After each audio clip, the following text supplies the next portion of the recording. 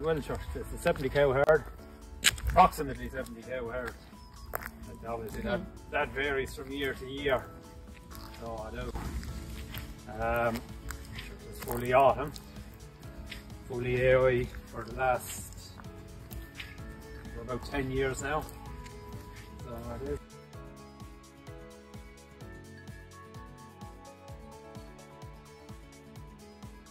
Breeds is mixed uh, with the with, with at the same time a leniency towards Charlie and the Limousin and maybe crossed with a bit of Simmental or a little bit of Aubrac. Um, for the last couple of years Angus has been used on the heifers. Um, we've never calved any heifer of our own at any age other than 24 months. Well, It's a, it's a mixed herd um, of mixed breed, but the emphasis is always on, on crossbreeding.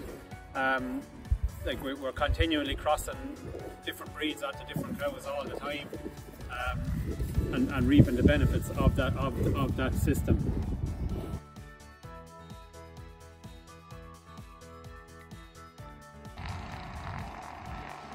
Uh, well, sure, we've been genotyping here for, for I don't know, about 10 years.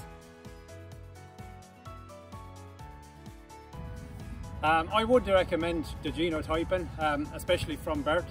From so because at that stage, from day one, you can start making decisions um, re regarding the, your herd's future um, with them animals, knowing that you that that animal is by exactly who you think it is, and the traits of that animal are actually there. So you can make your, your you can make your decisions based on facts um, and, uh, and not just uh, assumptions.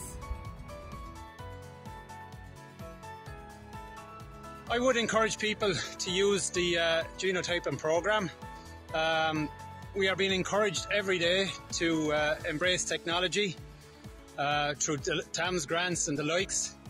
And uh, the genotyping program is just a different form of the same thing of using modern technology to uh, increase performance and for us to make better choices and to increase profits going forward.